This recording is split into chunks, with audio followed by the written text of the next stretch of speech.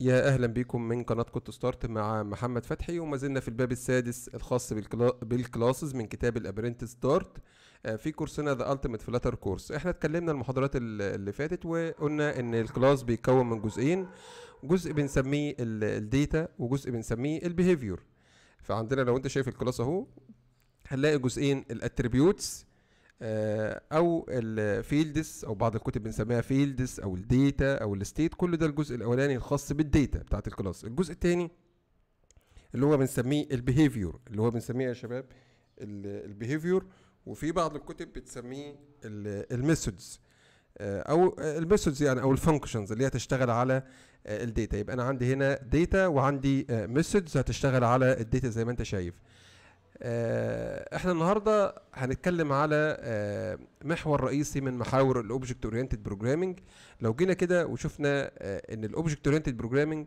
إحنا قلنا إن أي لغة ممكن تكتبها بطريقتين. يا إما تكتبها آه، معظم اللغات يعني آه، ممكن تتكتب أو اللغات بيقسموها إلى جزئين. جزء بيتكتب procedural يعني function بتنادي على function بتنادي على function بتنادي على function ده بنسميه ال procedural programming آه، وده زي لغة ال C وشرحت أنا في المحاضرات السابقة الكلام ده. آه، قلنا في لغات تاني ممكن ت support ال OOP ال OOP مش لغة. محدش يقول إن ال object oriented دي لغة برمجة لا ال object oriented دي طريقة في كتابة الكود. يعني بنكتب الكود بطريقة منظمة بحيث إن الكود يبقى سهل في القراءة يبقى سهل إن هو يكبر extensible extensible يعني سهل أنت ت extend ال class بتاعك. آه يعني هتلاقي إن في مميزات كتيرة جدا إن أنت تكتب الكود بتاعك بإيه؟ بطريقة ال object oriented زي ما بنقول. أسهل حاجة فيه إن أنت بيبقى سهل إن أنت تكبر الكود بتاعك ولو في مشكلة ما تقدر تعالجها. لو في كود مش شغال كويس ممكن تستبدله بكود تاني أو ب class تاني لأن هو عبارة عن component يعني بيقسم الكود إلى شكل component بتركب مع بعض عشان تكون ال project الكامل.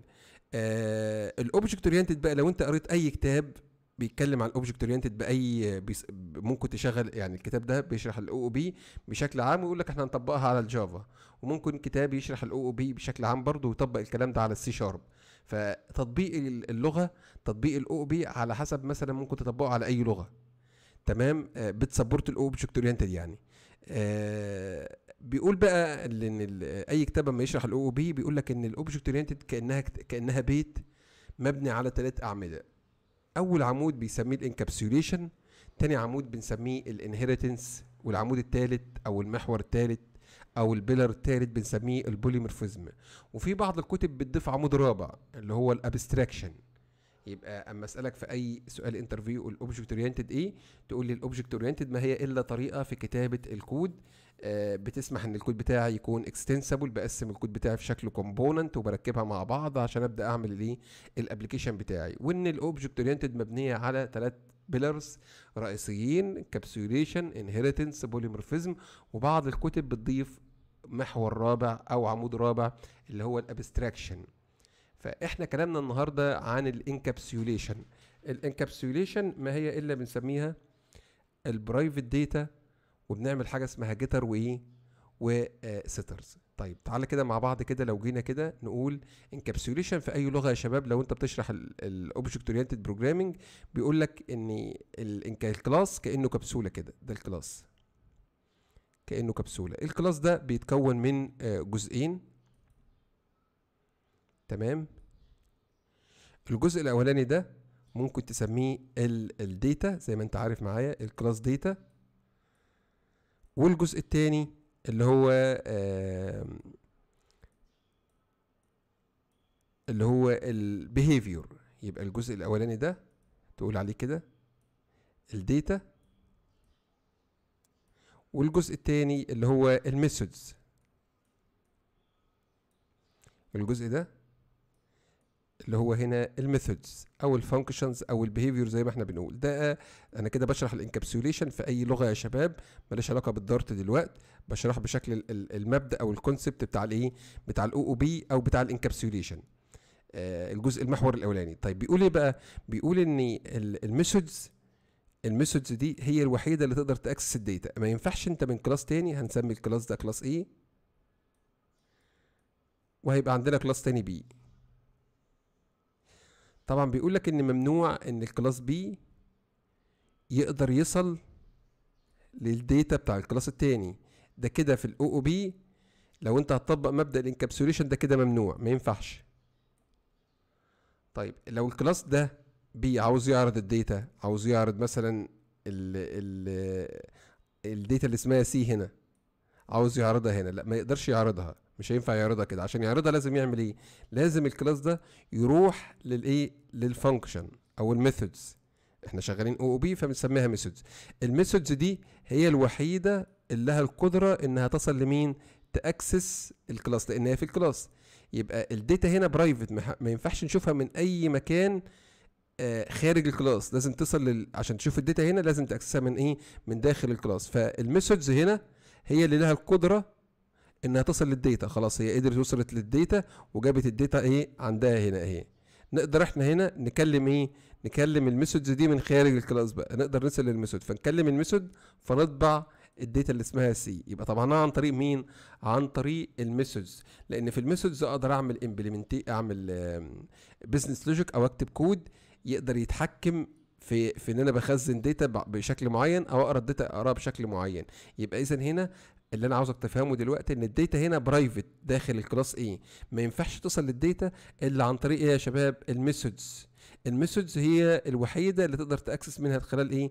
ال data. ال data private داخل ال class. ما ينفعش access ال data من خارج ال class. تمام؟ هو ده مبدأ ال encapsulation. يبقى بسألك برضو سؤال تاني. إيه هو ال encapsulation؟ هتقول لي إن ال data بتكون private داخل الايه ال class. طيب عشان اوصل لل data دي لازم يبقى عندي ال methods. اللي إحنا بنسميها ال methods هنا في الحالة دي بيقسموها إلى جزئين getters وإيه؟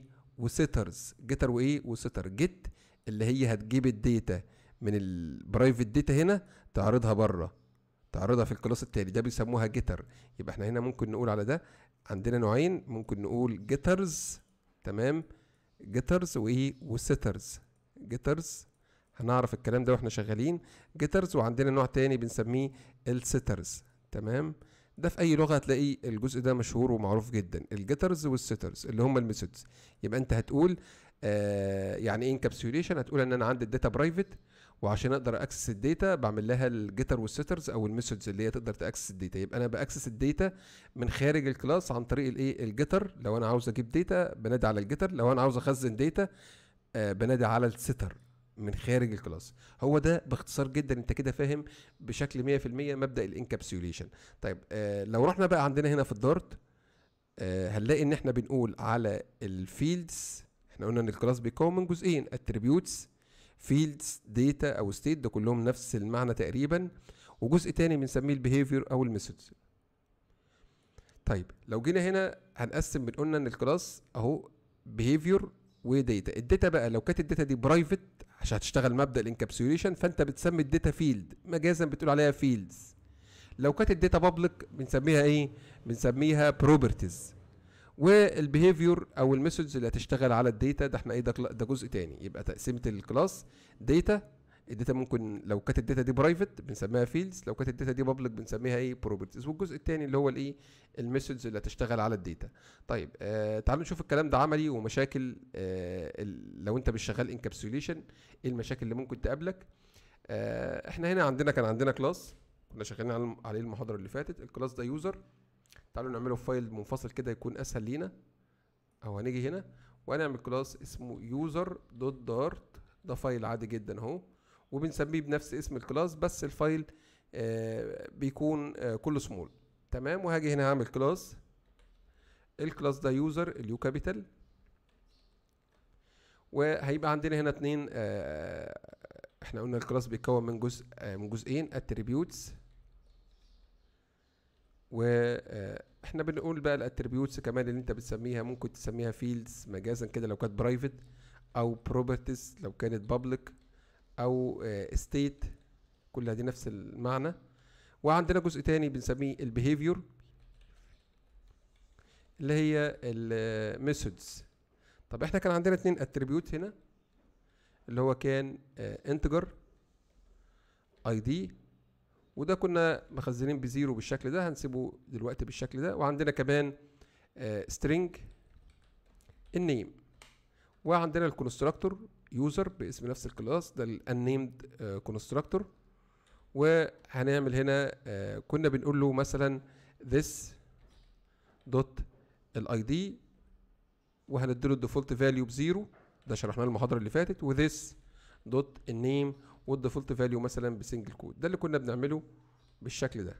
طيب آه اللي بيحصل دلوقتي إن أنا أقدر أخزن لو رحت هنا create object من ال class user فبعرف var user 1 equal user وبنقول له هنا ال ID مثلا ب 2 وال name بمحمد. كده أنا اديت آه، أخزن فلو رحت عملت override ل toString عشان أطبع الكلام ده برضه عملناه في المحاضرات اللي فاتت من ال behavior أنا ه override toString toString اهي override toString مش زي ما أنت شايفه. طب بن override ليه toString عشان نطبع ال object أما أجي أطبع ال object أعمل representation لل object أعمل representation لل object في شكل معلومة مفيدة. فأنا هنا هعمل double quotation وهقول له هنا user هكتب كلمة user وهعمل القوسين ده. وهاجي هنا هقول له ال ID نقطتين وه string interpolation لل ID وهنا آه ال name ه string interpolation لمين؟ لل name فبالتالي أما أجي هنا وأطبع ال object هيديك معلومة مفيدة أهي. print print ال user الكلام ده شرحناه مفيش أي جديد لحد هذه اللحظة. أهو كده إحنا مش ماشيين على مبدأ ال encapsulation قال لك ال user ال ID باتنين وال name بمحمد. طيب هنا ممكن بقى بالخطأ أجي أنا هنا في أي مكان وأغير ال name اللي خزناه. إحنا خزناه فأنا معتقد إن ال name محمد. فممكن أجي هنا أقول له user 1 dot ال name وأغير سواء أنا بقى أو developer تاني لأن أنا شغال مع team فممكن developer تاني يجي هنا ويغير ال name ويخليه مثلا خالد خالد. فبالتالي لما اطبع دلوقتي هيطبع ال name خالد خالد لأن إحنا غيرنا. يبقى ده قدرت اصل من خارج ال class اهو طبعا ال name خالد خالد. قدرت اصل من خارج ال class إلى الك... آه إلى ال data بتاعة ال class اللي هي ال name وده خطأ كبير جدا. انت كده كسرت مبدأ ال encapsulation. مبدأ ال encapsulation بيقول إيه يا شباب؟ بيقول إن ال data بتكون private طيب إزاي نخلي ال data private إن أنا آه باجي هنا وبقابل ال data بضيف underscore قبل ال field أو قبل ال ال الاسم يعني بضيف underscore كده أنت حولت ال data من public خليتها إيه؟ خليتها private طيب آه إزاي الكلام ده كمان هنا هتقابلني مشكلة؟ إن ده بقى خلاص هتبقى مش هتبقى مش هينفع أقول له بالشكل this فأنا هقول له هنا int ID وكمان ده هيبقى string ال name string ال name بالشكل ده string ال name ومحتاج بقى إن أنا أدي القيم. أنت كده بعت ال constructor ده هياخد ID وهياخد name محتاج أخد ال ID ده أخزنه في ال underscore ID في ال private وأخد ال name ده اللي هو داخل parameter لل constructor أخزنه في ال underscore آه ال name إزاي الكلام ده؟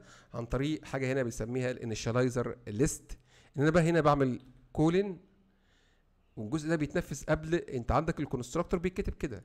فالجزء ده يا شباب بيتنفذ قبل ال constructor body ده ال constructor body فالجزء اللي هنا بيتنفذ قبل ال constructor body بنكتبه إزاي؟ بعمل colon وبقول له هنا ال underscore ID هيساوي ال ID ال public و comma ال underscore name اللي هو ال private هيساوي آه ال name اللي داخل عندنا. وبعمل semicolon أو هسيبه كده وال semicolon خارج آه ممكن أكتبها هنا أو ممكن أسيبها ما أكتبهاش. ما بنكتبهاش عامة بنكتبها إمتى؟ لو أنا لغيت ده كده أهي. يبقى ده كده قدرت إن أنا أعمل إيه؟ أعمل آه الجزء اللي هو خاص بال initializer list مش محتاج ال body لأن مش محتاجه دلوقتي فأنا هنا قدرت assign القيم.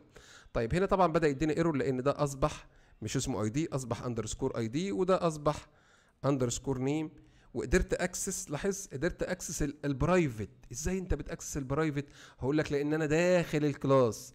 طالما أنا داخل ال class أقدر access ال private data عن طريق مين؟ عن طريق ال methods ممتاز. إنما أنت هنا هيضرب مننا الكود اهو مش هينفع ن access ال private data بدأ يعترض ليه؟ لأن بيقول إزاي أنت تغير ال name؟ ده ال name ده private ما ينفعش إن أنا إيه؟ إن أنا أغيره بالشكل ده. يبقى أنا اذا هنا؟ مش هينفع أغير ال name وبكده أنا قدرت أطبق مبدأ ال encapsulation بسهولة جدا. لو عملت run دلوقتي تمام؟ آه، قدرت اطبع فعلا ال name خالد. حاولت أغير في ال name أو ال ID user 1 dot لا هشوف ال ID مع إنه كان ظاهر من شوية. ولا هقدر أشوف الايه ال name ليه؟ لأنهم أصبحوا private encapsulation مش هتشوفهم خارج ال class. مين اللي يقدر يشوف ال ID ال underscore ID وال underscore name هو ال methods اللي داخل مين؟ اللي داخل ال class. كده إحنا قدرنا نحول إن ال data نخليها private في الحالة دي بنسميها ال attribu ال fields يا شباب. أنا عندي اتنين field هنا. وكده أنا طبقت مبدأ ال encapsulation على الجزء بتاعي. محتاج بقى إن أنا إيه هبدأ لو أنا عاوز access ال data محتاج إن أنا أتكلم عن ال properties أو بنسميها ال getter وال setter. إنما أنا لحد هذه اللحظة طبقت مبدأ ال encapsulation آه بالشكل اللي أنت شفته معانا. آه ما ننساش نعمل ريت للكورس يا شباب الناس اللي معانا في الكورس يا ريت تعملوا ريت للكورس محتاجين الفول مارك تقييمك للكورس النجوم خمس نجوم إن شاء الله. ونشوفكم إن شاء الله في محاضرة قادمة. والسلام عليكم ورحمة الله وبركاته.